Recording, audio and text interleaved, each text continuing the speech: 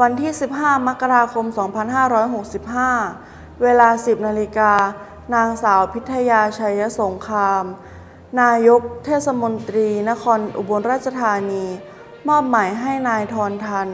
ชินโกมุตรองนายกเทศมนตรีร่วมโครงการตลาดนัด เพื่อจำหน่ายสินค้าอุปโภคบริโภค ราคาประหยัดและบรรเทาปัญหาค่าครองชีพครัวเรือนของประชาชน โดยมีนายพงษ์รัตน์พิรมรัตน์ ผู้ว่าราชการจังหวัดอุบลราชธานีเยี่ยมชมให้กำลังใจผู้ประกอบการจำหน่ายสินค้า ราคาประหยัดณลานขวัญเมือง ศาลากลางหลังเก่า ที่อุทยานนาควัดบ้านหนองบ่อตำบลหนองบ่ออำเภอเมืองจังหวัดอุบลราชธานี อาจารย์เติ้ลตะวันหมอดูเศรษฐี จัดพิธีบวงสรวง นาคาธิปดีเก้าองค์ เจ้าปู่ศรีสุโธเจ้าย่าศรีปทุมมา เปิดโชคบารมี โดยมีเหล่าลูกศิษย์มาร่วมทำบุญบารมี เพื่อความเป็นสิริมงคลจำนวนมาก ภายใต้มาตรการป้องกันการแพร่ระบาดเชื้อโควิด -19 หลังเสร็จพิธีเป็นการรำถวายหนึ่งชุด โดยอาจารย์มิกกี้บ้านตรีเนศศักดิเดวี และต่อด้วยการบวงสรวง ไอ้ไข่นาควัดเปิดทรัพย์ ก่อนปิดท้ายด้วยการจุดประทัดถวาย เวลาประมาณ 13นาฬิกา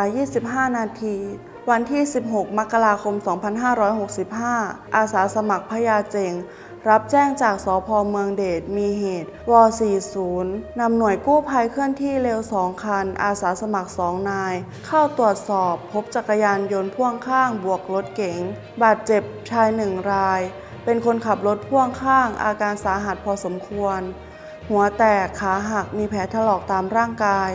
เลือดออกมาก กู้ภัย องค์การบริหารส่วนตำบลเมืองเดช ร่วมกับอาสาสมัคร 03 ทำการใส่คอล่า อุปกรณ์ปฐมพยาบาลเบื้องต้นนำส่งโรงพยาบาลเดชอุดม วันที่ 15 มกราคม 2565 นายพงรัตน์พิรมรัตน์ผู้ว่าราชการจังหวัดอุบลราชธานี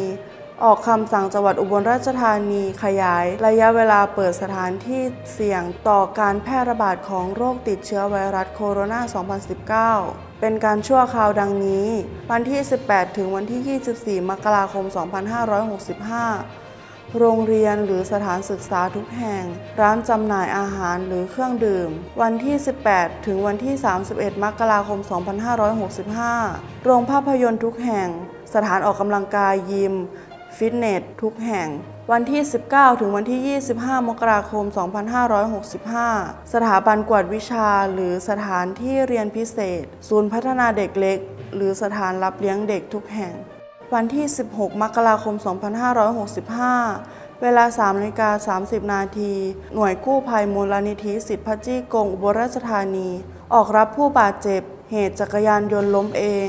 หน้าเรือนจำกลางอุบล ตำบลในเมืองอำเภอเมืองอุบล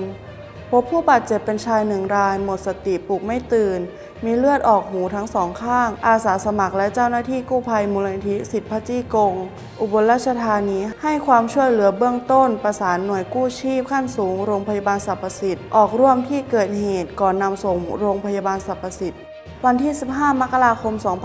2565 เวลา 19นาฬิกา54 นาที หน่วยกู้ภัยมูลนิธิสิทธิพัจีกงอุบลราชธานี ออกรับผู้ป่วยฉุกเฉิน หลังวัดบ้านนาควาย ตำบลในเมือง อำเภอเมืองอุบล พบผู้ป่วยเป็นชายหนึ่งราย มีอาการเจ็บท้องรุนแรง อาสาสมัครและเจ้าหน้าที่มูลนิธิสิทธิพัจีกงอุบลราชธานี ให้การช่วยเหลือ และนำส่งโรงพยาบาลสรรพสิทธิ์วันที่ 15 มกราคม 2565 เวลา 18นาฬิกา28 นาที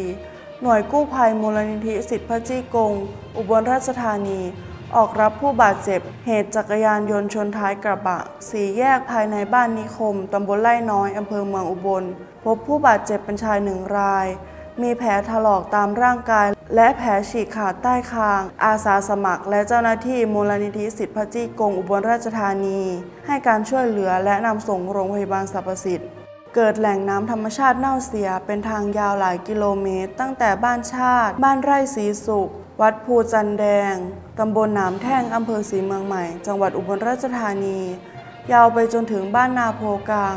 ตั้งแต่ปีที่แล้ว กระทบต่อระบบนิเวศเป็นวงกว้าง สัตว์น้ำไม่สามารถอาศัยอยู่ได้ ประชาชนไม่สามารถใช้น้ำเมื่อก่อนชาวบ้านยังสามารถใช้น้ำดื่มกิน เลี้ยงวัวควาย แต่ปัจจุบันไม่สามารถใช้น้ำในการปศุสัตว์ เลี้ยงวัวควาย ปูปลากินไม่ได้ทั้งยังส่งกลิ่นเหม็นรุนแรง รบกวนชาวบ้านเป็นวงกว้างวอนผู้ที่มีส่วนเกี่ยวข้องและหน่วยงานที่เกี่ยวข้องเข้าไปดูแล หาสาเหตุของการเน่าเสียของแหล่งน้ำธรรมชาติ และขจัดปัญหาแหล่งน้ำเน่าเสียให้โดยด่วน